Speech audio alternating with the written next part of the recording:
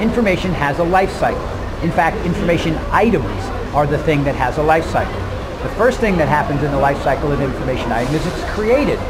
The last thing that happens in the, in the life cycle of an item of information is it's somehow retired, deleted, or put off to the side, excuse me, whatever.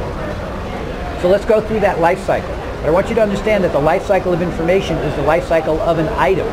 The type of information and the attributes and all that stuff pretty much is created once, right? Facebook defines all that stuff. Maybe it updates it every once in a while, but it changes relatively slowly, and there's only one of them.